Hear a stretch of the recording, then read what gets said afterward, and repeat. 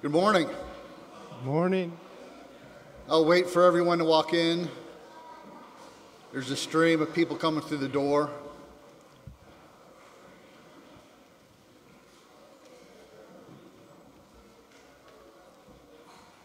Well, I want to wor- welcome everyone to the uh, morning worship service of Harvest Presbyterian Church.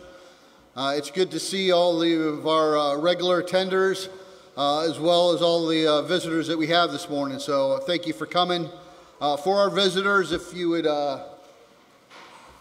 we have these tan cards in front of you that if you wish to contact the church, leave a record of your attendance, please fill those out and drop those off in the uh, offering plate or, or, hand them to uh, someone uh, after the service. Uh, would like to draw your attention to pages 9 and 10 of the uh, bulletin for some announcements. Uh, I would like to just draw your attention to where that our fellowship meal is this evening at 5 o'clock here. So bring a meal. let's fellowship with each other uh, so that we all can provoke each other love and good works.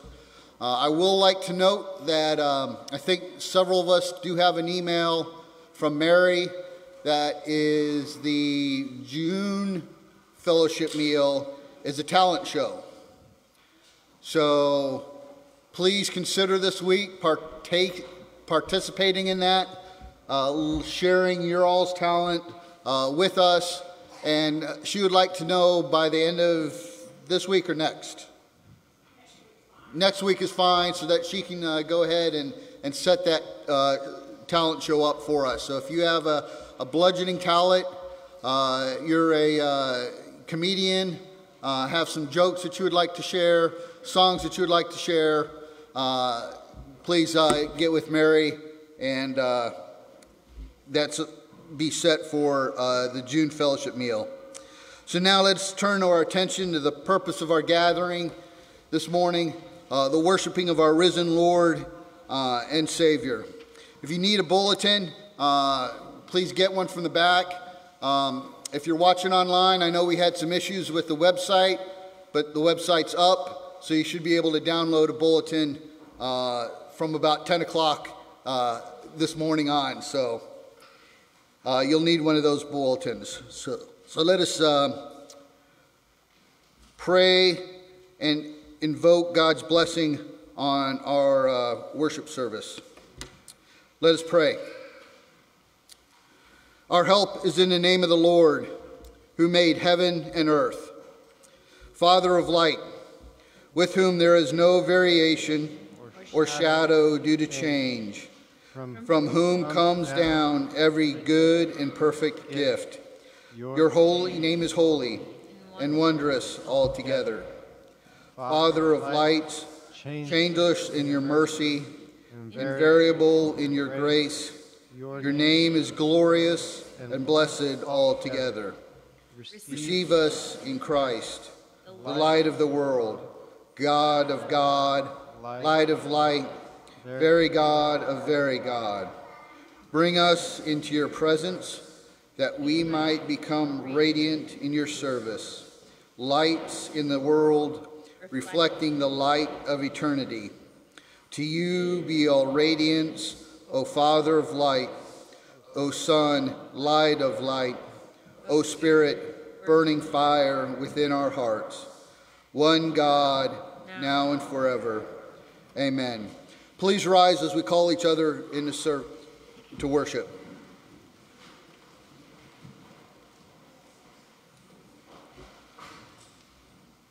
So, in the present case, I tell you, keep away from these men and let them alone.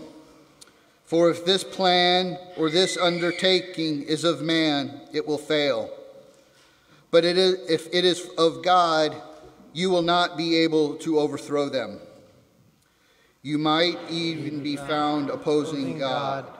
So they took his advice, and when they had called in the apostles, they, they beat, them and charged them not, not to speak in the name of Jesus and let them go. Then they left the presence of the council, rejoicing that they were counted worthy to suffer dishonor for the name. And in every day in the temple, from house to house, they did not cease teaching and preaching that the Christ is Jesus. Let us continue to worship him in song.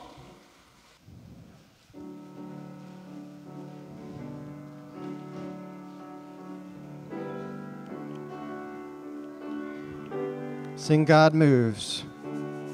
God moves in a mysterious way, his wonders to perform.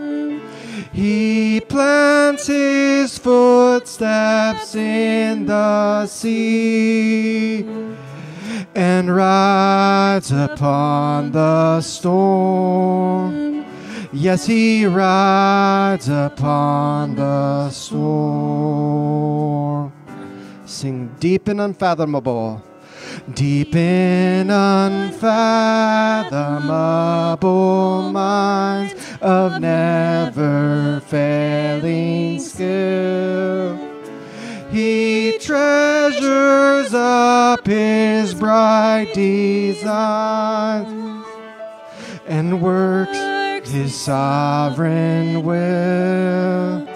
Yes, he works his sovereign will.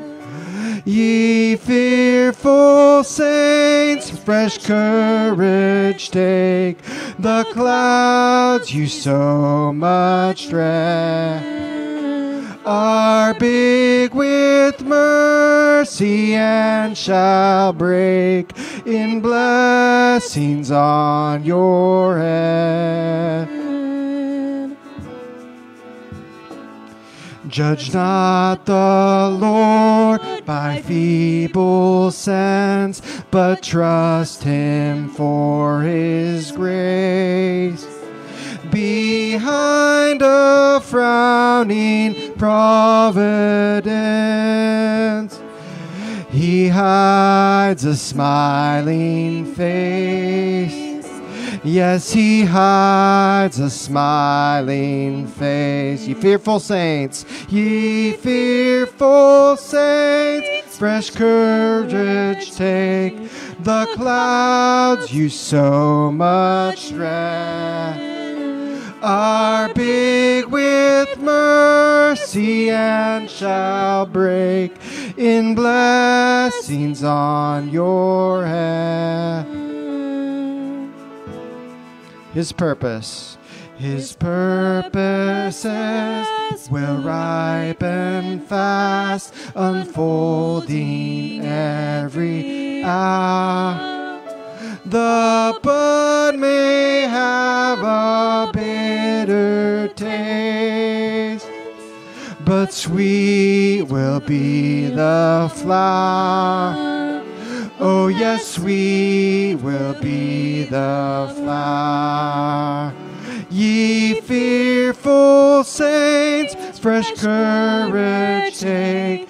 The clouds you so much dread are big with mercy and shall break in blessings on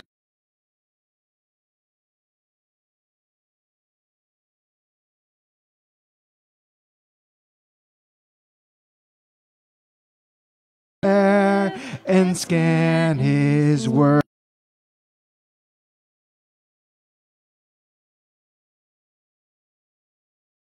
Interpreter, and he will make it plain. Oh, yes, he will make it plain. Ye fearful saints, fresh courage take.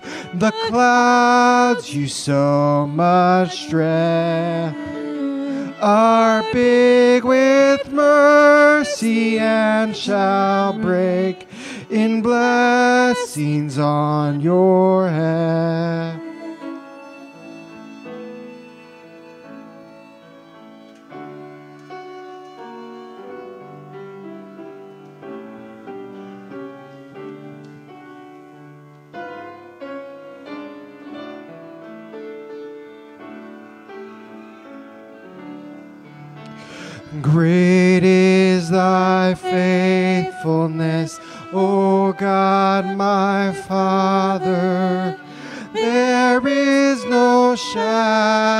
Of turning with thee. Thou changest not thy compassions, they fail not. As thou hast been, thou forever will be. Great is thy faithfulness, great is thy faithfulness. Morning by morning, new mercies I see. All I have needed, thy hand hath provided. Great is thy faithfulness, Lord, unto me. Summer and winter, summer and winter, and springtime and harvest, sun, moon, and stars in their courses above. Join with all nature in manifold witness to thy great faithfulness, mercy, and love. Great is thy faithfulness, great is thy faithfulness. Morning by morning, new mercies I see.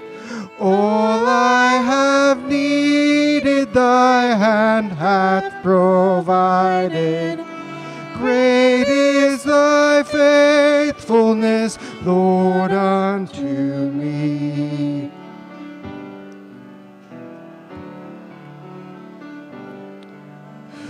Pardon for sin and a peace that endureth.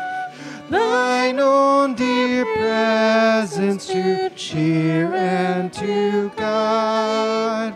Strength for today and bright hope for tomorrow. Blessings all mine with ten thousand beside. Great is thy faithfulness, great is thy faithfulness. Morning by morning, new mercies I see.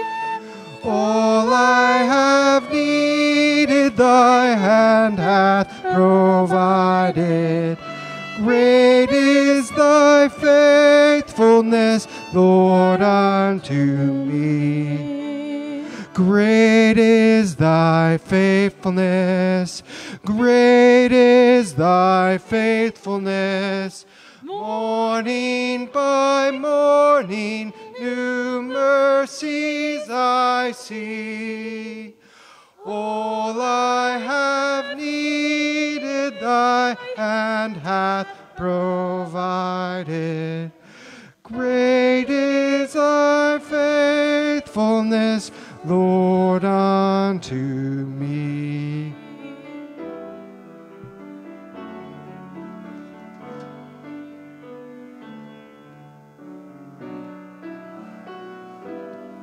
Sing merciful.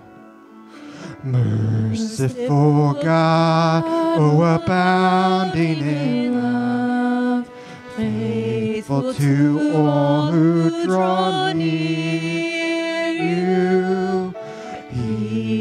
the cries of the humble in heart, showing the cross they may cling to.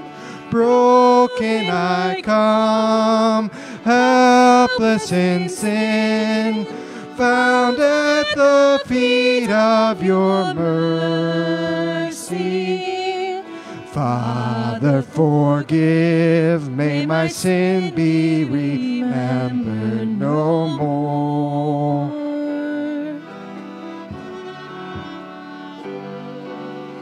Merciful God, oh, abounding in love.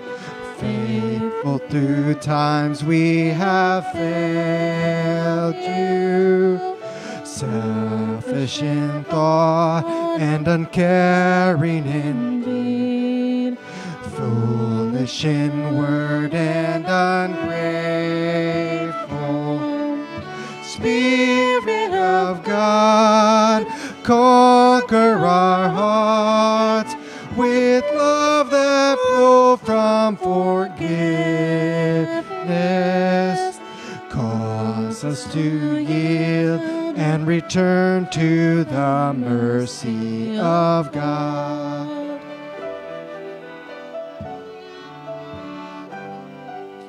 Merciful God, oh abounding in love, faithful to keep us from falling,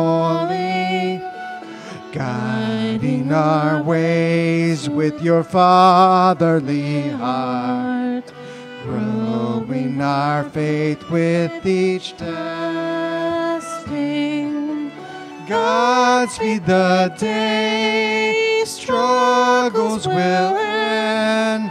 Faultless will gaze on your glory. Then we will stand overwhelmed by the mercy of God.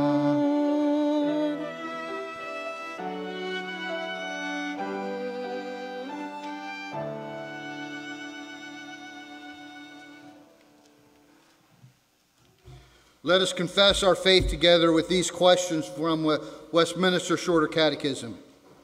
Christian, what is adoption? Adoption, adoption is a free act of God's grace, is whereby we are received into the number and have a right to all the privileges of the Son of God. What is sanctification? Sanctification is the work of God's free grace whereby we are renewed in the whole man after the image of God and are enabled more and more to die unto sin and to live unto righteousness. Hear these words from Psalm chapter 34. Come, O children, listen to me. I will teach you the fear of the Lord. What is what man is there who desires life and loves many days, that he may see good. Keep your tongue from evil and your lips from speaking deceit. Turn away from evil and do good. Seek peace and pursue it. The eyes of the Lord are towards the righteous, and his ears towards their cry. The face of the Lord is against those who do evil, to cut off the memory of them from the earth.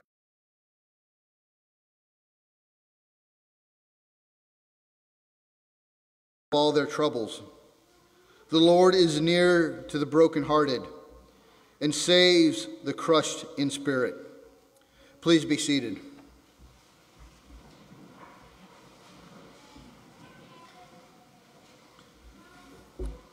Will you please join your hearts and minds together as I lead us in prayer? Let us pray. Abba, Father, in the beginning was the Word, and the Word was with God, and the Word was God. He was in the beginning with God. There is but one God, the Father, from whom all things came, and for whom I live. And there is but one Lord Jesus Christ, through whom all things came, and through whom I live. I know that you are a gracious and compassionate God, slow to anger, abounding in loving kindness, a God who re relents from sending calamity. My trespasses are multiplied before you. My sins testify against me. For my transgressions are with me, and I know my iniquities. Transgressing and lying against the Lord, departing from my God, speaking oppression and revolt uttering lies my heart has conceived. Search our hearts, O Lord. Show us our sins that we might confess them and might repent of them. Show us how our hearts have lied to us so that we might repent. Show us how we have spoken oppression and revolt against our fellow man and against you, O Lord. You lavishly pour out your grace, your mercy upon us. You have given us your Son, that through him we might have forgiveness of our sins, that we might stand clothed in his righteousness, which is now our own. May I not be like those rocky places on whom seed was thrown, who hear the word and at once receive it with joy, but since they have no root, last only a short time.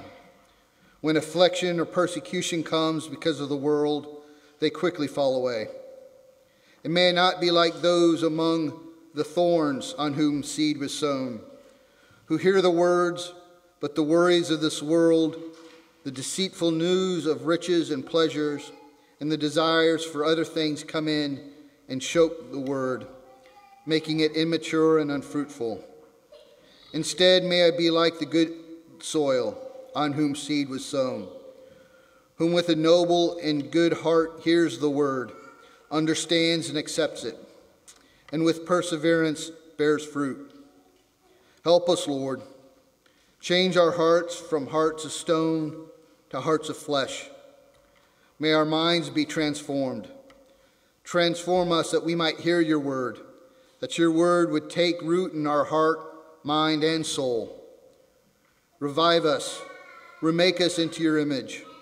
Help us to understand that we are no longer slaves to sin, but heirs with your Son, Jesus Christ. Refresh us with your word this morning. We pray that you would speak through Eric, animate his words, that we might be admonished, encouraged, and comforted.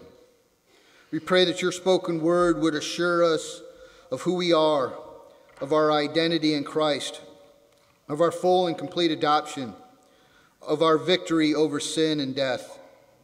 Help us, Lord, to develop an eternal perspective, a perspective that comforts us, encourages us in times of trial. Help us, Lord, to renew our minds with the truth that we might not be deceived by the things of this world. Give us greater skill in each area of life Lord, we pray that you, we may prosper in all things and be in good health, even as our soul prospers. Give us greater love and compassion towards each other, especially when we disagree. Give us greater love and compassions for our loved ones, for those who do not know your Son, for those in need. We pray that you would reveal to us our next pastor who will faithfully bring us your word. Sustain us until we can discern your will. Prepare him to lead this congregation, to preach your word, to administer the sacraments. Prepare us to call that man as you reveal your will to us. We pray for those who feel the absence of a loved one, a prodigal far from home, a family member who has passed away, a spouse or friend who has left and hasn't been heard from since. You, Christ, knew what it was like to experience loss and absence. And may your precious presence and truth bring healing and hope to those who mourn. We pray for those whose heart and flesh are failing. The weight of mortality bears upon their soul. You, Lord, took on flesh. You endured a brokenness of body so that we might know through your resurrection that life begins when we embrace you and extends towards an eternity of restoration where pain and sickness cease. May your promises bring joy to the weary, hope to the mournful heart.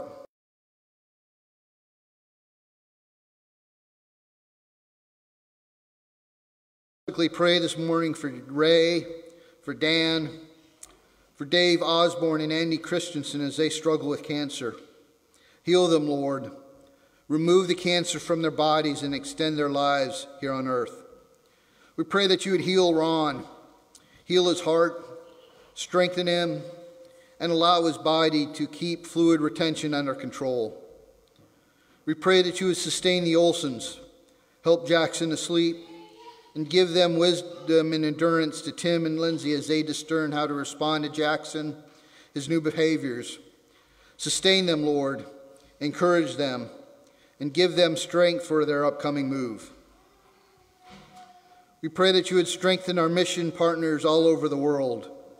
We pray for all in danger or hardship that they may be renewed in courage and faith and hope.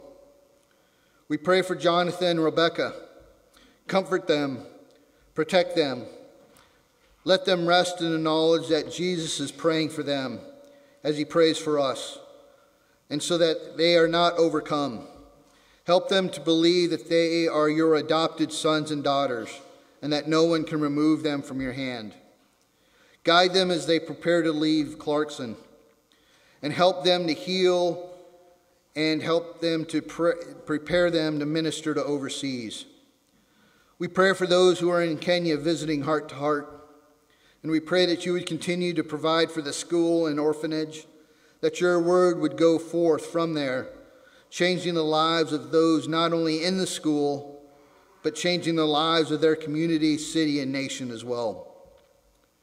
Christ has appeared once and for all at the end of the age to do away with sin by the sacrifice of himself.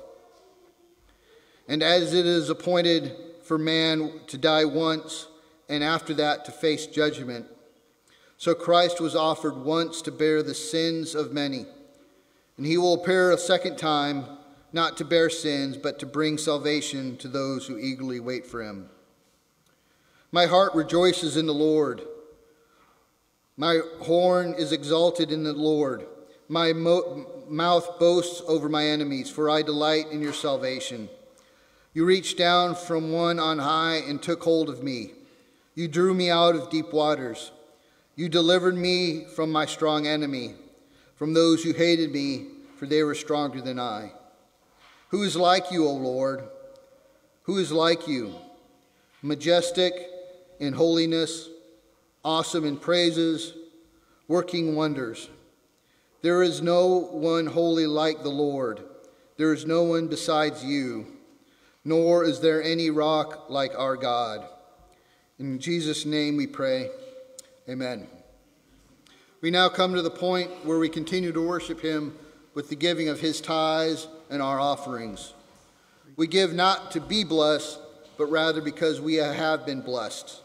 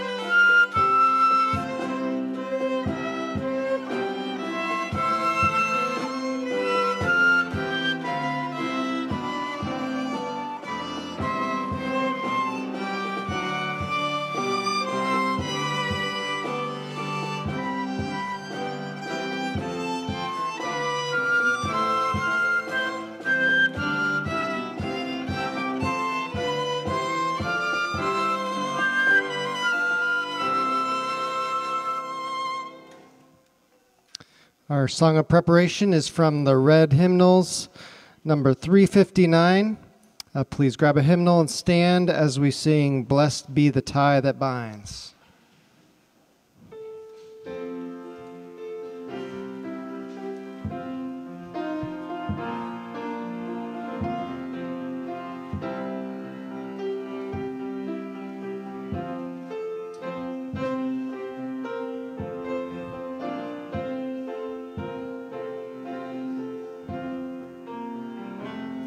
Blessed be the tie that binds our hearts in Christian love, the fellowship of kindred minds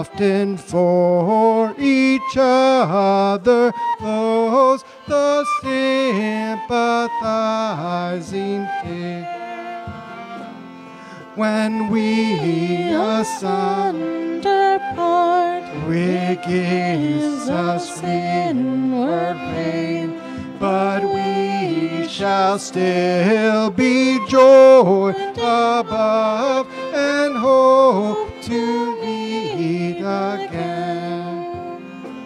This glorious hope provides a courage by the way, while each in expectation lives and longs to see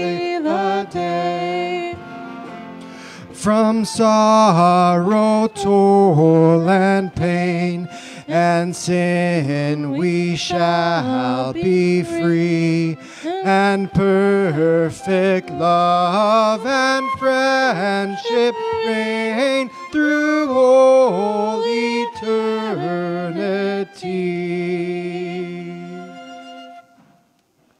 You may take your seats.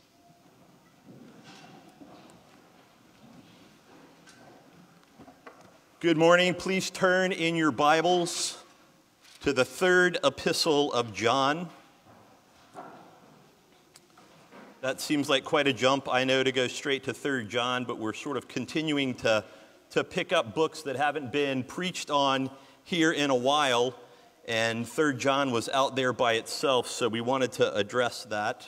We wanted to actually just learn from that before we go back into the Old Testament. And I have to tell you, this has been especially convicting, especially challenging passage of Scripture um, for me.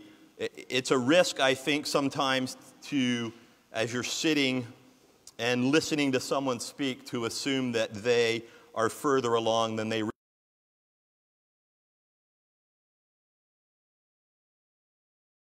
you as we read through 3 John together.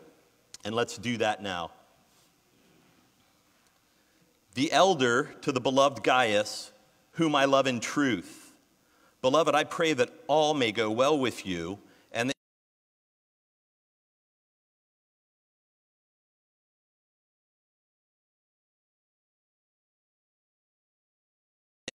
out of the church.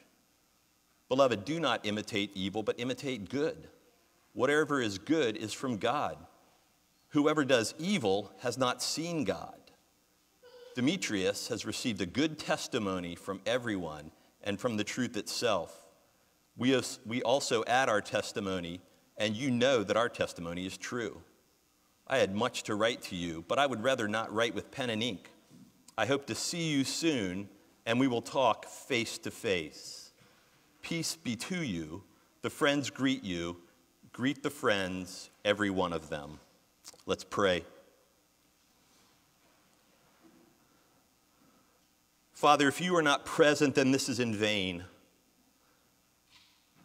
If we're just people left to ourselves to gather together and sing songs and say things that make us feel good, then this is in vain. And so we ask that we would be aware of your presence. Holy Spirit, teach us to love as we ought. Cause us to love as you love us. Teach us to love each other. Teach us to love truth. And lead us there in Christ Jesus' name we pray. Amen. In 2000, a group, a Christian group named DC Talk, which some of you will remember, released a song and it was called Love is a Verb. Love is a verb. I think that's a helpful idea for us to have as we move through this chapter so that we don't relegate the idea of love to sentiment, to sappy emotionalism. That's not the case. It's active. Soren Kierkegaard, writing, has said love is the expression of the one who loves, not of the one who is loved. And in this case, at least, I think he's correct. I'm not recommending his theology or recommending him as a philosopher, but that statement is true. And we see it in 1 John 4:10 where John writes, "This is love, not that we love God, but God loved us and sent his son." And love here is active. God didn't just feel a certain way about us. And we don't see the truth proclaimed where there is not active love as a result. And so we'll see that, that love here is active, that it's who God truly is, and it's what God truly does. And we might even say, and I think we see here, that love is the expression of truth. Love is the expression of truth. So we're going to look at five points that I, I would like us to walk through today. And we'll, we'll be looking at familial love. Primarily, this is the love within the family of God, within the body of Christ. And so, first, we'll look.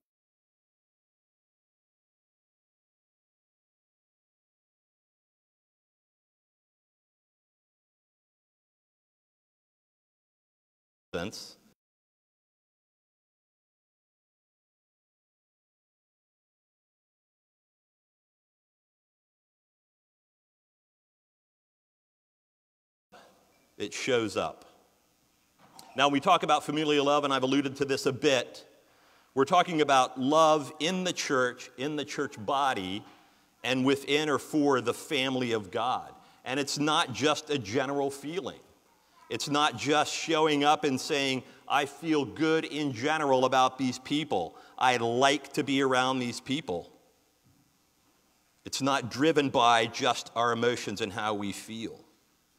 It doesn't even really relate to liking or to enjoying particular people. That actually typically would come after love, not as a precursor, as a cause for it. We're talking about agape love, we're talking about selfless love, sacrificial love. It's love that's exemplified in God's love for us. And of course, it's most profoundly demonstrated in the sacrifice of Jesus Christ, taking on flesh, living a sinless life, and dying in our stead at Calvary on a cross his death, his burial, his resurrection. And just to help you get your mind around that, the love that we're talking about as we go forward, I want you to think about that love of Christ. That it's the love of the just for the unjust. It's the love of the sinless for the sinful. It's the love of one who has no needs he needs no thing, meeting the greatest needs of those of us who are entirely unable to meet our own needs. And it's the love of the one who's worthy to be sacrificed to, becoming a sacrifice for those of us who are entirely unworthy. That's the example of love that Christ gives to us. That's the love we're called to live in and to walk in, to demonstrate. And that's what we mean by love and familial love. So, as we looked at the text, 3 John, verse 1, first let's talk about familial love is personal, and we see it very, very clearly there. The elder to the beloved Gaius, whom I love in truth. Letters are beautiful things. Even in our tech age where messages are quick and easy, emails are quick and easy, there's lots of ways that we can chat. But man, when somebody takes time to write you a letter, that's powerful. When someone sits down with their pen in hand and handwrites a letter and signs it, that's especially meaningful. They've invested for your good. Those are such encouraging things. And so we have here John, the elder, who is writing to Gaius a letter to express this very thing how much he loves and values Gaius, who walks in the truth. It's because of the gospel, and how Gaius is loving others. So John has set aside this time to write a particular letter. Now, it would have been read, of course, by the whole church, it would have been passed on, but it's incredibly personal as it begins, as John writes to his beloved friend. The name Gaius here is one that's used other places in Scripture, but we don't really have any way to connect this particular man to those other individuals. So, as far as we know, this is the one time this particular individual is addressed as John writes to him. Gaius was likely a disciple of John, and we see that because of their relationship. John writes to him and identifies himself as the elder. He does the same thing in the second epistle identifying himself as the elder to the church, to a larger body of people, but here it's the elder writing to Gaius. Now, that elder has two meanings. Likely both of them are included here. John has gotten older, he's an older guy, and so this word, this presbyteros word, could just mean an older man. But it's more than that as we see their relationship, and when we look at how it's used in other places in Scripture, including the second epistle. This is John the elder positionally in the church, John holding the office of elder, and that would include eldership or leadership over Gaius. So this isn't just spiritual maturity, old age, but spiritual authority that John is writing in. You'll note that, um, and we won't turn there, but you'll note in 1 Peter 5 that Peter identifies himself with the same title as a fellow elder. And then he admonishes the other elders to shepherd the flock of God that are among them. So it's that same idea we see here. John has a ministry role in the life of Gaius, and that's grown into a sincere and profound love and a deep friendship. So, as an elder, John, like all elders, has charge to shepherd the flock, and this is one of the ways that he is shepherding the flock of God in shepherding Gaius in particular. I'll note, note here just for you to think about and appreciate, and we can come back to this another time, but John is referencing the office of elder in particular here in this title. And the work of the elder is to shepherd, just so we know we're, we're clear on our terms. And in our denomination, but I think in Scripture, there are two offices there are elder and deacons. Those are the two offices. So the office is elder here that John is addressing, and the ministry, the function of the elder is to shepherd or pastor. That word pastor comes from the Latin, so as we translate from Greek to Latin, from poimen to pastor is the Greek, and then we use that in our English language, and we use it in a lot of different ways. But in the scriptural context, it's what the elder does the elder pastors, the elder shepherds. And so, John, in writing this letter, is shepherding, he's pastoring Gaius, who he loves. Notice that it says in verse 1 that it's who he loves in truth. It's who he loves in truth. And this is the first place we begin to see those ideas linked together. John doesn't just love him. It's not just a greeting. It's not something he throws down on the letter. I feel good about you, and now I'm going to get on to the other stuff. It's, I love you in truth. I sincerely love you. I really love you. So he's talking about the sincerity of his commitment in actively loving Gaius, and he's loving him even in the writing of this letter. But it's also love that's grounded in truth and that's the truth of the gospel again.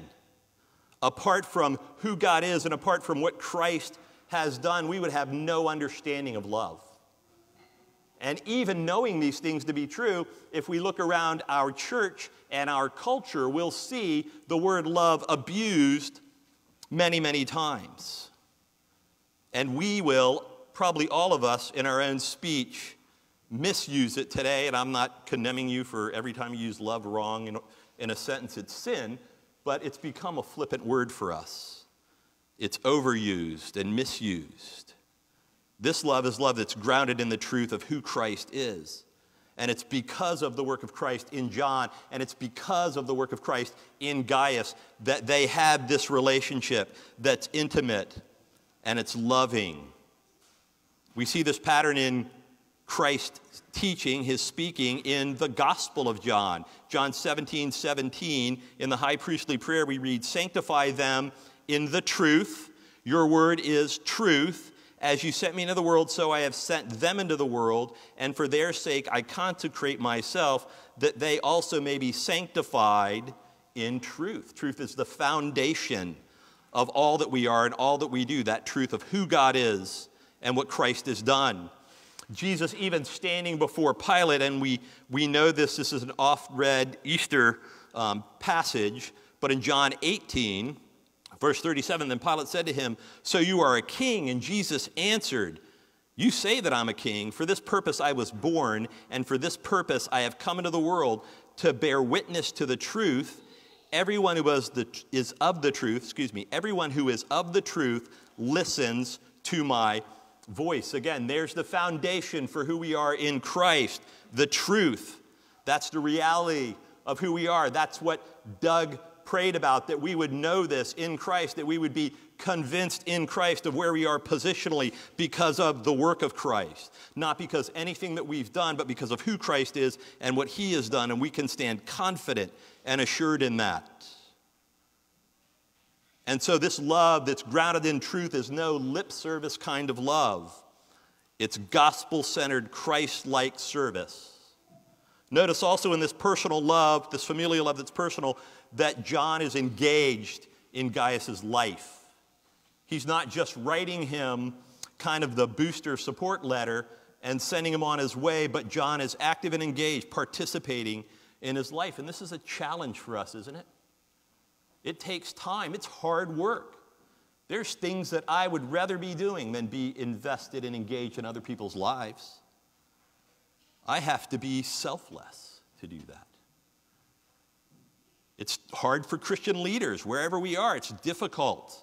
And yet it's the call and it's the example that Christ has given to us. It's a challenge for us as Christian brothers. It's a challenge as we love in our community, even outside of the church and outside of these walls. And that's because love is service, it's not sentiment. Love is being engaged in the lives of the people around us. We're going to come back to that idea later on. But John is actively involved and engaged in Gaius' life. In verse 2, John actively prays for Gaius. Beloved, I pray that all may go well with you and that you may be in good health as it goes well with your soul. Again, I think this is a challenge for us. How many times do we say, I'm praying for you, or do we add that as a tagline, praying for you, or a quick text, praying for you, and then never invest in the work of prayer? the hard work of prayer. It's an easy thing to say, but love does. Love prays, love intercedes for our brothers. And notice how John prays. This is not what we would look at and think of as the most spiritual prayer in all of Scripture. He prays that it will go well for Gaius. Beloved, I pray that all may go well with you. That's all of life, that it's going well. Now, keep in mind, all of this is grounded in the truth, that it will, we, will go well with you in the truth, based on, again, who God is, what Christ is doing, the call of Christ. So I pray that it will, be, it will go well with you. You'll be su- successful. You'll prosper, is actually the word there, that you'll prosper in all of life, and that you may be in good health. You'll be physically strong and stable and able to do the work to which you've been called so that you can prosper, be successful in what God has called you to do in the truth. He prays for his success. He also prays for him to prosper in his soul, spiritually to grow, spiritually to be grounded, spiritually to mature in the faith, spiritually to continue to walk in a manner of the calling to which he has been called. This is not prosperity gospel. This isn't name it, claim it. This is a sincere desire that John has for Gaius to be able to do and be everything that God has specifically called him to do, the tasks that he has been given, grounded in the truth of the gospel. And notice that John doesn't just pray, he doesn't just write a note, and he doesn't just pray a single prayer, but he stays engaged with Gaius so that he knows what's going on in his life. He knows, verse 3, that he's walking in the truth. For I rejoiced greatly when the brothers came and testified to your truth, as indeed you are walking in the truth. He's watching Gaius, he's tracking the reports, he's listening to what he hears about the ministry. He's investing in it. He's taking the time. He's keeping track to know that Gaius is doing what God has called him to do. He's an example. And I want to encourage him to press on. Keep doing what you're doing. You're walking in truth. For I rejoiced greatly when the brothers came and testified to your truth, as indeed you were walking in the truth. That's significant. Those are two different ideas as they're written individually, but they fit together. Everything that Gaius says is true. Everything that Gaius has committed himself to as the truth is the truth. It's grounded in the gospel. He's not making up his own truth, and everybody's saying that's okay. What's good for you is good for you, and keep after that. It's what he is doing, what he is claiming is true. The service that he is offering is true and consistent with what Christ has commanded. What he says is true is, in fact, the truth of the gospel.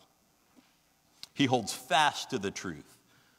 He's learned it, likely from John, been taught it, and he lives it out in a loving way. And John, who has learned it at the very feet of Christ, is also living it out in this letter before us. In verse 5, Beloved, it is a faithful thing you do in all your efforts for these brothers, strangers as they are. Again, John knows the ministry. He's encouraging him. These things you're doing, they're good, they're faithful, they're consistent with the truth. In the day, this would have been traveling evangelists, men of God, sincere men of God that were moving from one area to another, carrying the gospel message. And they would go to where there were believers and they'd be cared for, they'd be fed, maybe given funds, and then sent along their way to continue their ministry. And so Gaius is that guy in the body that's looking for the people that are coming with the gospel so that he can encourage them, so that he can equip them, so he can bring the church together to equip them with what they need, to give them the things that they need to go on in communicating the gospel. Gaius is all about this. He's making Christ known by equipping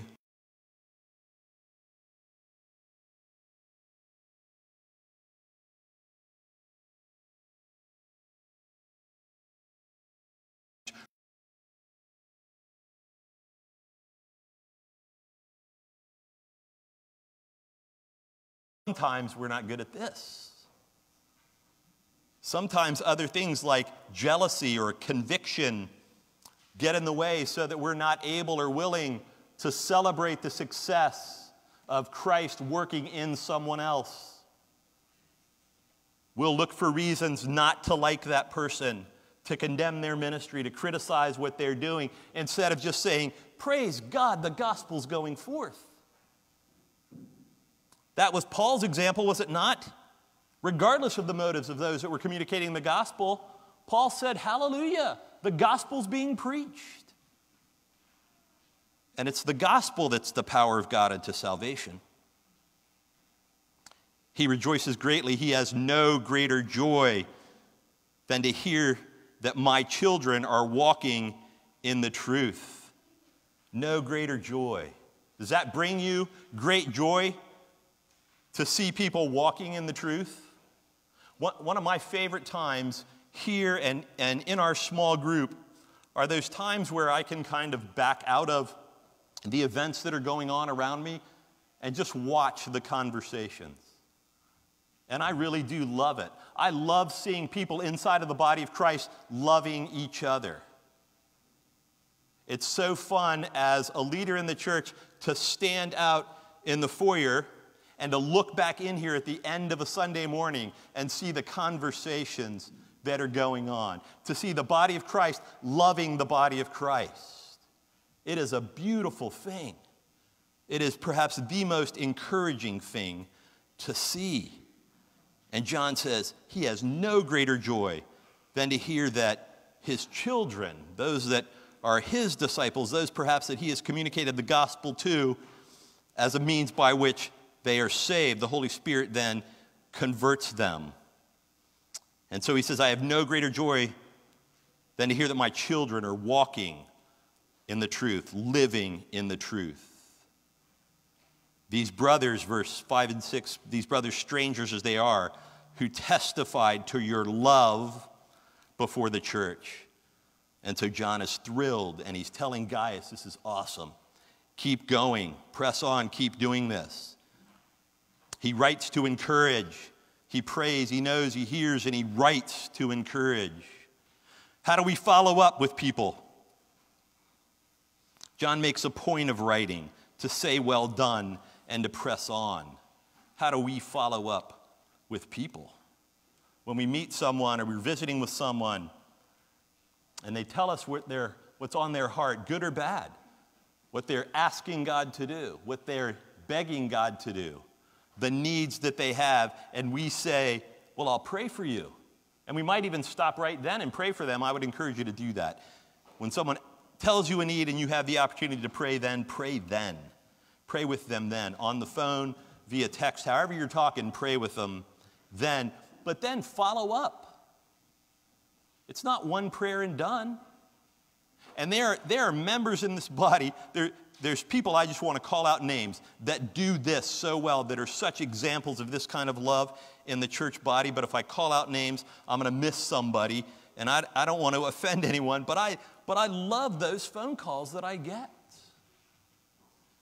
I'll, I'll call out one. Um, when, when my dad died, sorry, when my dad died, Grant wouldn't be deterred in calling me.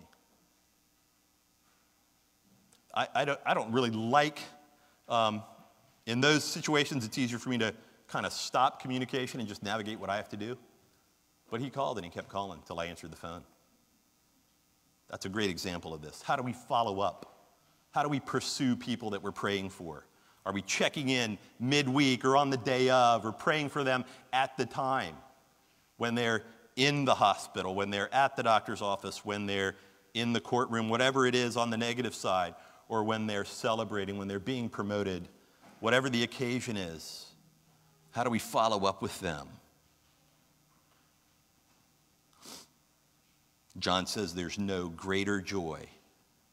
Nothing makes him happier. Secondly, and we'll move quick, more quickly through these, familial love is familial. I know that sounds ridiculous, but it's the truth. Our familial love isn't just the people that we like, the people that we're naturally attracted to, the people that kind of fit in with the things we want to do. Familial love is for the whole family. We love the whole body of Christ. That's the command. We give ourselves convenient and easy outs. And it's sin. It is, it's just sin. Beloved, it is a faithful thing you do in all your efforts in verse 5 for those brothers, strangers as they are. Strangers, people we don't know, but they're in Christ, they're part of the family. And so we love them and love them well. That's the call. Gaius is loving the brothers and serving Christ, uh, people he doesn't know. All he needs to know is Are you in Christ? Is the gospel you're proclaiming true? I am all about supporting you. And I'll do everything I can as you're passing through here to make sure you're ready to go to keep doing that. We'll feed you food. We'll bind you wounds. We'll give you funds, whatever we can do so that the truth is proclaimed will love you well. Look at the pattern, look at the, the reach of this. Verse 5 Beloved, it is faithful thing you do in all your efforts for these brothers, strangers as they are, who testified to your love before the church, you will do well to send them on their journey in a manner worthy of God. Wow. In a manner worthy of God. Do we love and care for people in a manner that's worthy of God? That's a worthy sacrifice to God? Do we love people like that? Remember, this is the same Christ we talked about who purchased us, who didn't consider equality with God a thing to be grasped, and so he humbled himself.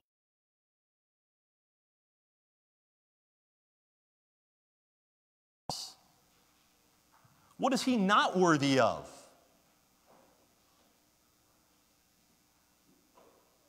And John's encouragement is keep it up, Gaius, and send them on in a manner worthy of God, that appreciates the worth, the infinite worth of God, the infinite value of God. And so, what can we rightly withhold from God? Man, are we caring in a way like that? Because that kind of love testifies to the truth. That kind of love says, Yes, I believe what Christ did. I believe in his sacrifice. I believe that I was deserving of death and he saved me. God become man, saved me. And so, what am I willing to sacrifice as an example in love of what Christ has done? That's a high calling. Verse 7 For they have gone out for the sake of the name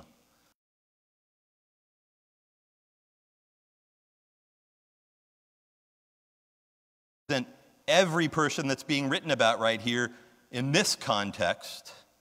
I'm not giving us per- permission not to love others, but here in particular, it's those that are going out for the sake of the name. This is, this is Dan and Melanie and Sherry as they go to Kenya, and they go out for the sake of the name. This is the MTW mission work that we support in Greece. This is the new work that's transitioning back into the Middle East. They go out for the sake of the name. And so, as family, we love them. And we should send them in a manner worthy of God, worthy of the sacrifice, the example that Christ has given to us.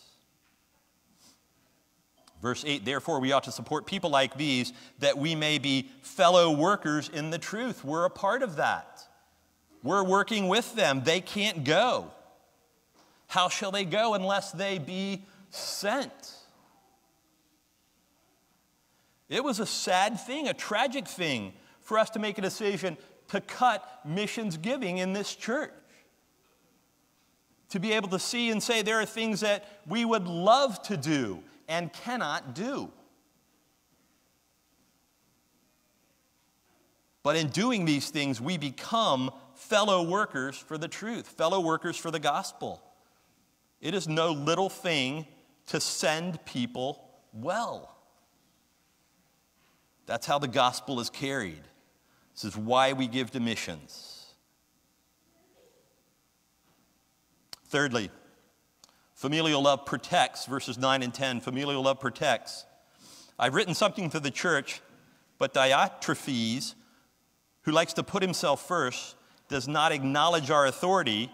So if I come, I will bring up what he's doing, talking wicked nonsense against us.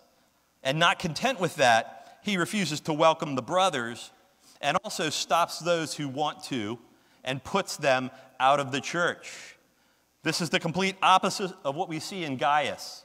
Everything that John is commending in the life of Gaius, this man is contradicting. He's building his own kingdom, his own private church under his authority and his name.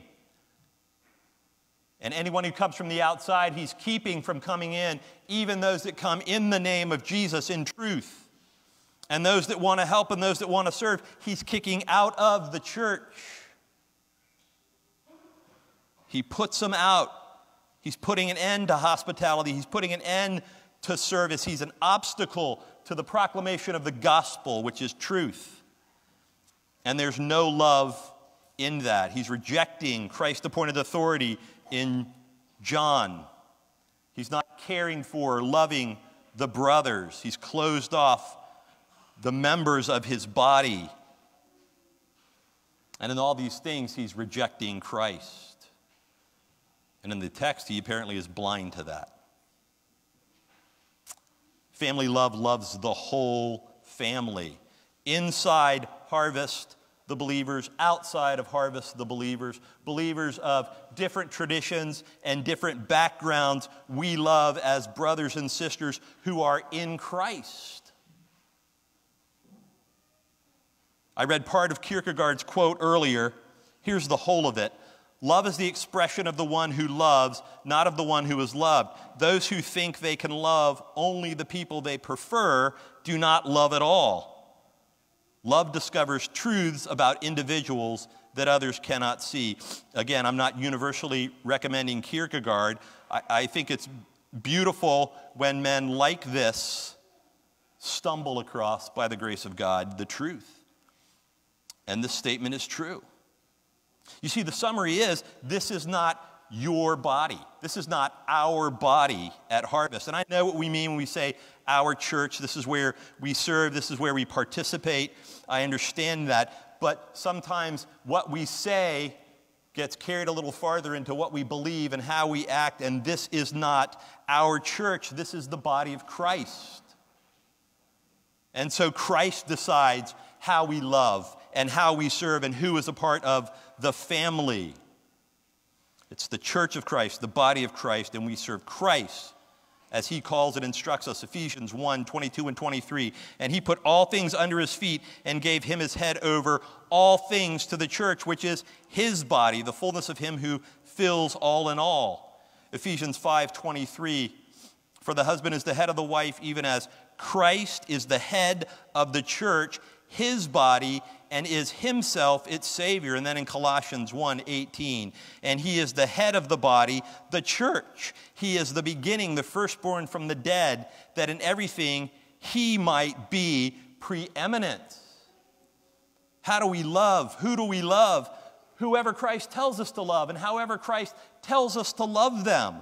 And always looking to the gospel and his sacrifice as the pattern of what love is we serve Christ so that he is rightly seen and exalted here and in the world around us. And Christ is so gracious.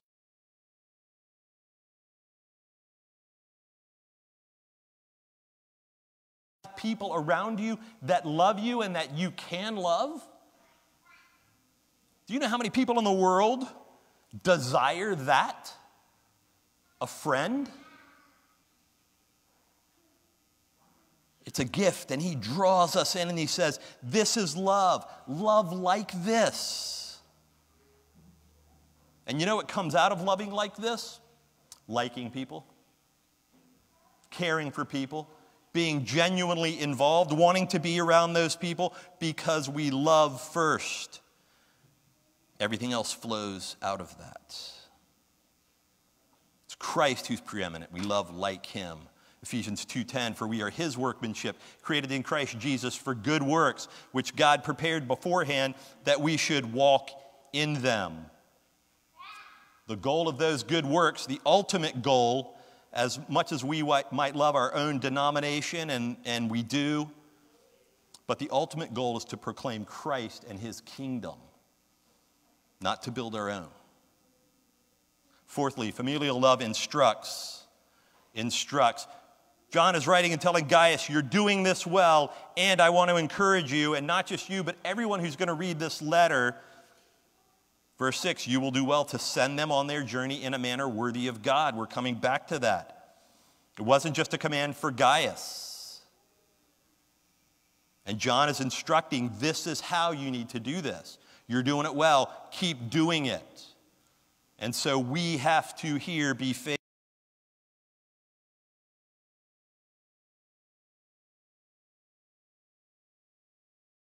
that we can give to missions and ministries that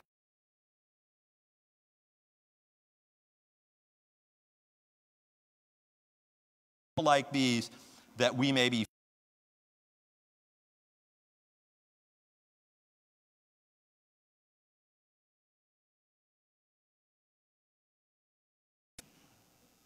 so that Jesus' name is named as Lord and Christ because Jesus alone saves. John instructs don't imitate evil, but imitate what is good. He gives a negative.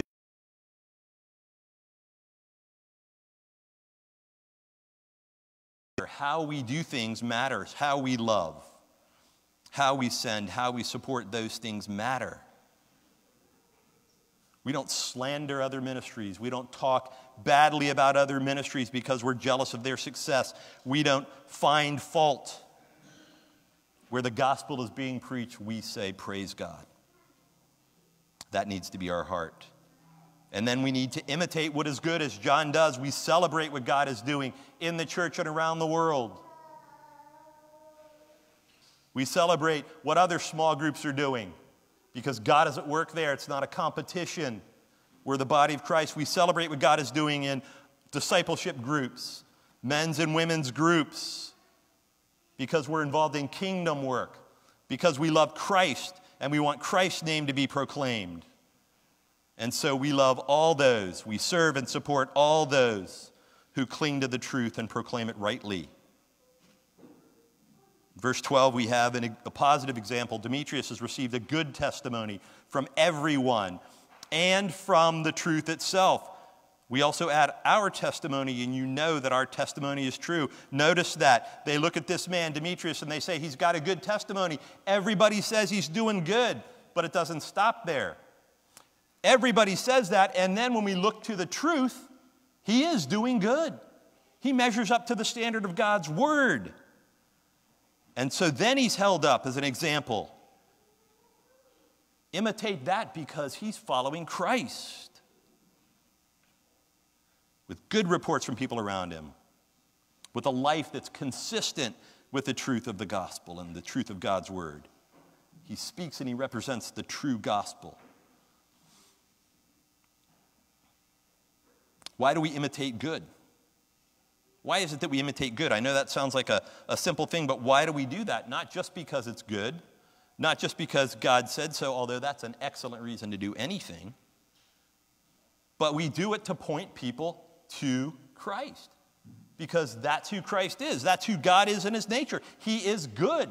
How do we represent him? By being like Christ, so people can look to us and see Christ and want to know him. That's our place in this equation. Look, no one is going to come to me and ask me to be a spokesman for their hair care products. No one's going to do that. It would be foolish to do that. I have no ground to stand on to market those products to anybody. It would drive them away. So, do our lives draw people to Christ? Does how we love draw people to Christ? We don't have to be perfect. We can't be perfect. That's not the call. But our life should be a proof, a testimony. We should exhibit the work of Christ so that people can see it. And that's not just something I'm saying we should do, but that's what the world is looking for, and they should. In John 13, 34 and 35, a new commandment I give to you, that you love one another. Just as I have loved you, you also are to love one another. Why? Verse 35, by this, all people will know that you are my disciples if you have love for one another. The world is looking at us. The world is judging us fairly, rightly. They're looking at us and saying, Is there something there? They can come here and peel back the doors in the morning on a Sunday and stick their head in, and they want to see, Is there something different here? Or am I just as, just as good, just as well off to be on the golf course or in the yard or anything else? Is there anything different? Is there anything that we're doing here in love, in truth, in service that's overflowing out into the streets? It's pouring out into the neighborhoods or in the city of Jacksonville in the parks and the businesses, in the schools? Is it real to us and are people seeing it? I read from a, a, quote from Booker T. Washington last week. I have one more this week. It's one that we discussed even in small group this week. He writes, I think that the whole future of my race hinges on the question as to whether or not it can make itself of such indispensable value that the people in the town or state where we reside will feel that our presence is necessary to the happiness and well being of the community. And that made me think of the church. Christian, are we of indispensable value to our community? Does our community see us and feel that our presence is necessary to their happiness and well being? Does our community see and know us at all? And if not, why not? Lastly, familial love shows up. I'll try to finish quickly here, but this is so important. Very simple and critical importance. Verses 13 and 14 I had much to write to you, but I would rather not write with pen and ink. I hope to see you soon, and we will talk face to face. He had more to write, more he could have written, lots of other things he wanted to write, but he would rather show up.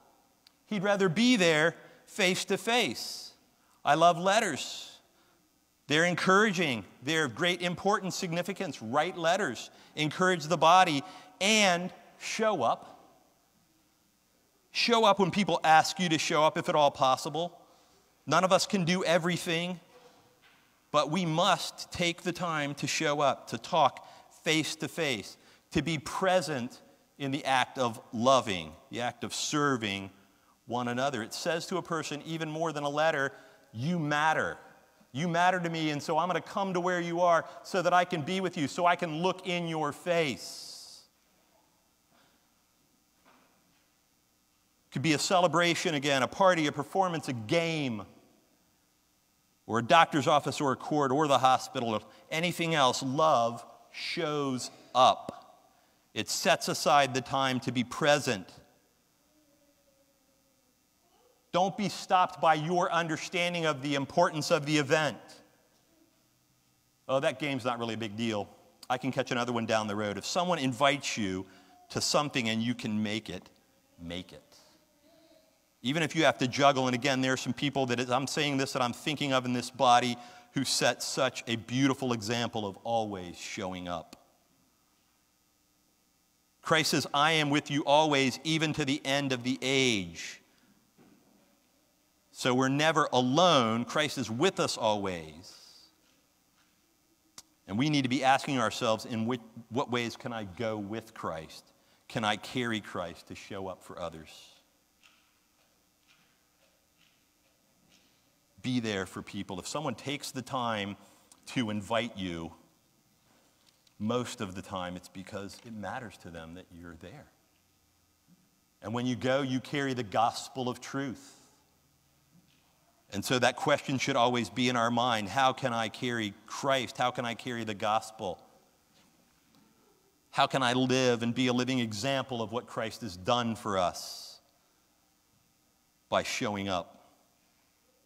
Sinclair Ferguson writes The gospel is the message of the good news of Jesus Christ, and our lives are to be the embodiment of that good news. I'm going to read that again. The gospel is the message of the good news of Jesus Christ and our lives are to be the embodiment of that good news.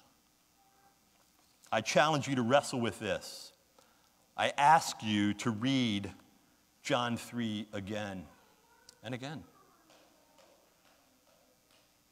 Maybe flip to other parallel passages, go back and read, excuse me, I said John 3, 3 John, and flip back to 2 John and read that again and again and then go to parallel passages to see what this love looks like, to see how we're called to love in service to each other. But I also want to challenge you now, even as I pray, to consider where we need to repent individually and as a church, where I have, where we have failed to love in a way that says, Jesus Christ is Lord. Let's pray.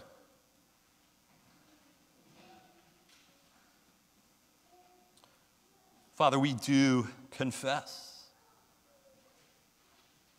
We do repent. And this is a beautiful thing. It's not a thing that should make us feel separated from you, but it's a privilege and a joy to be able to climb up into your lap, as it were, and say, I'm so sorry. And know that we're loved. Know that we've been saved, that we are justified. Know that you are faithfully working in us, and we are walking with you so that we are sanctified, made like Christ. And then, as you call us to repentance personally, open the eyes of this body corporately to see how we better love each other, and then how we better love beyond these walls, because if we love each other well here, it's going to pour out into the streets. We see this repeated in Acts, Acts 2, Acts 4, Acts 6 again as the church gets some internal ministry right. And we constantly see that you add to the body of Christ as a result.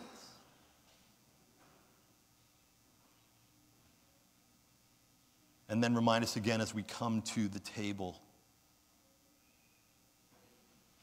the price, the sacrifice, the love that was poured out for us, that we might be saved, that we might truly be loved and love, that we can even know what love is. We praise you and thank you in Christ Jesus' name. Amen.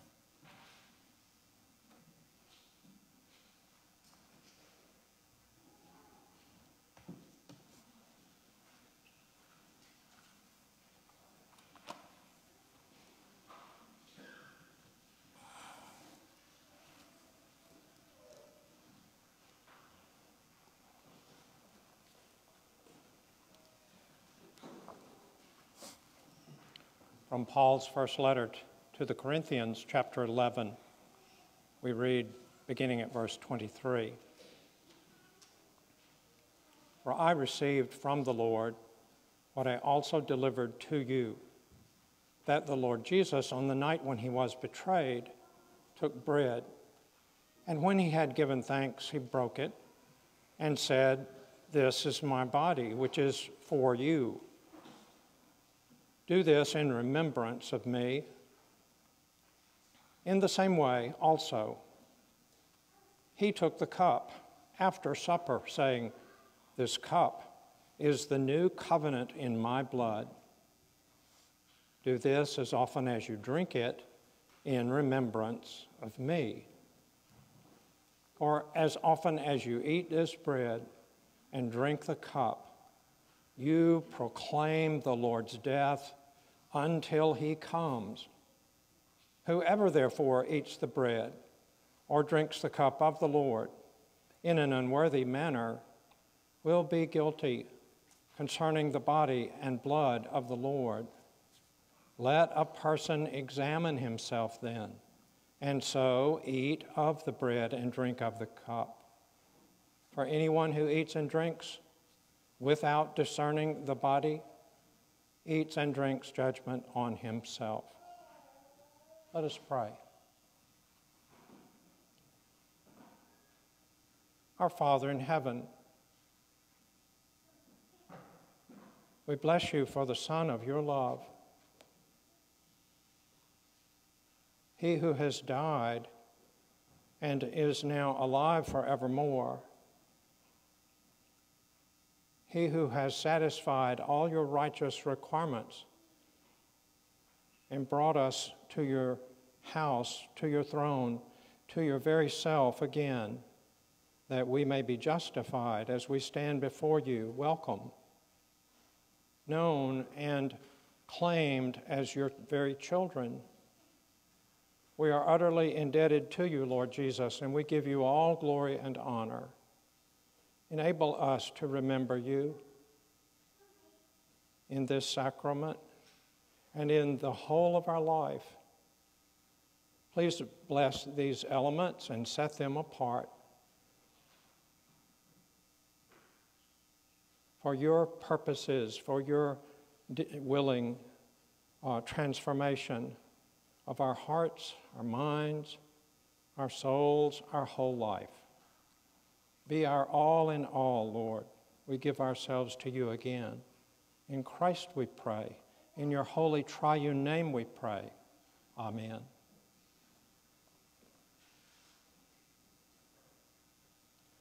The Lord Jesus Christ has died for me and for you. Astonishing.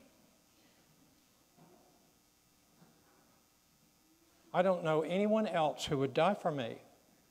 I don't know anyone who should. And because of that, He has changed our lives.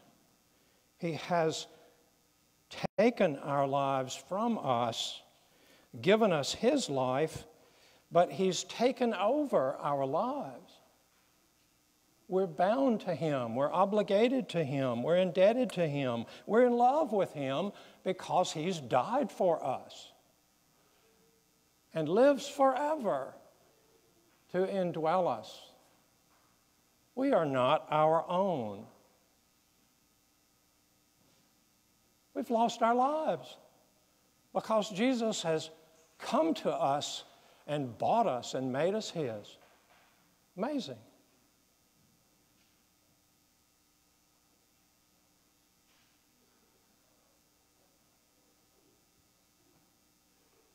The night he was betrayed, Jesus took bread and said, This is my body, which is given for you. And after the supper, he took the cup and said, This cup is the new covenant in my blood, poured out for the remission, the forgiveness of sins. All of you drink it.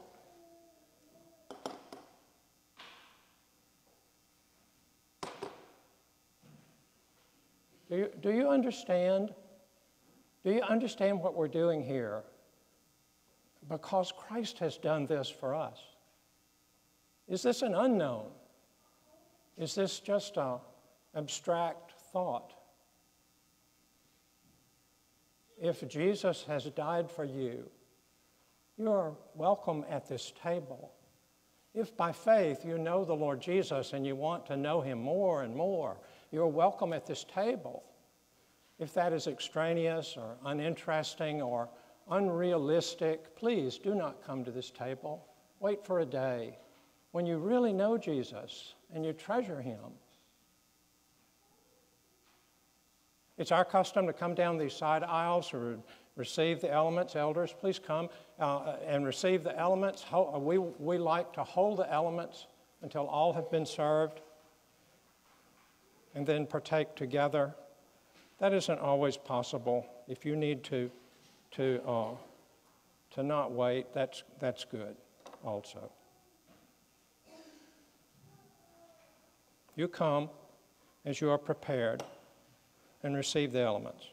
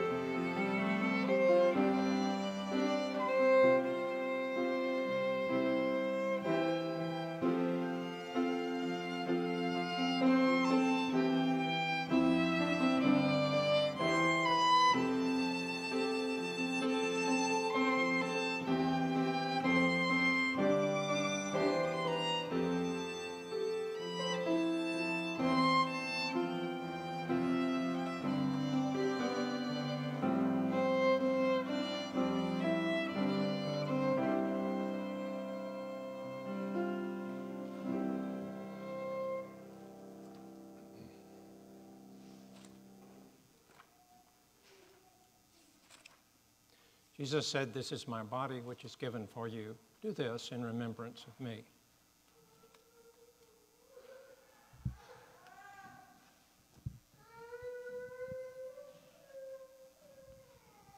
Jesus said, This cup is the new covenant in my blood. All of you drink it.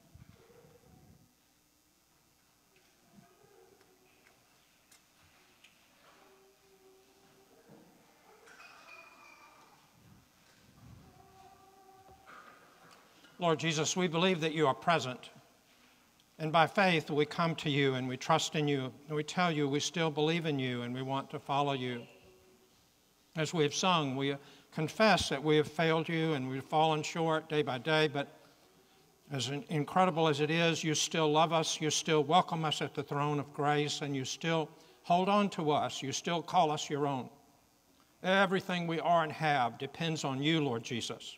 Be glorified and enable us to love you more dearly, more truthfully, more sincerely, more consistently. Be our all in all. Fill our heart and soul and mind.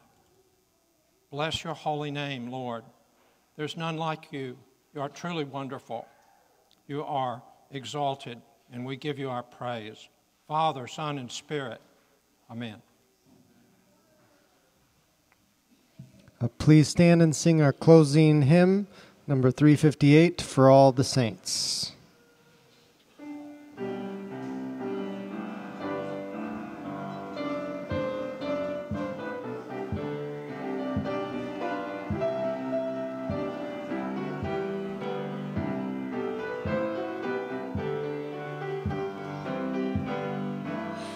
For all the saints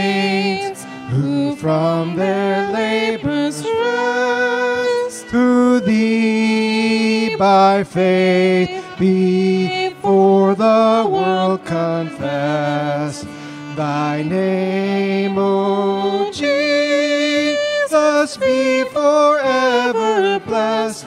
Oh,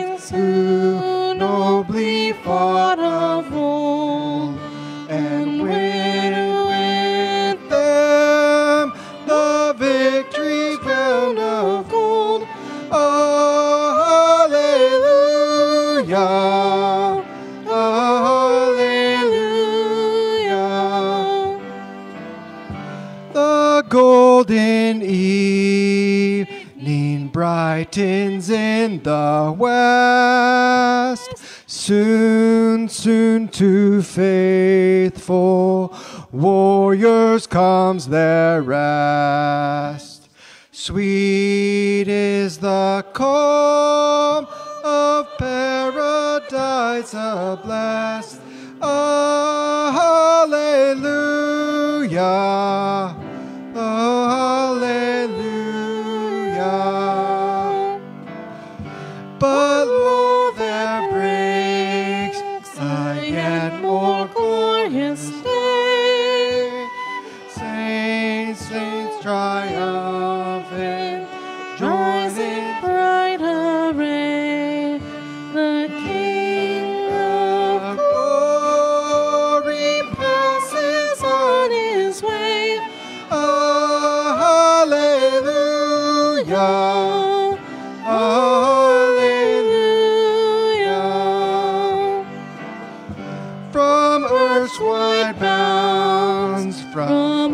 From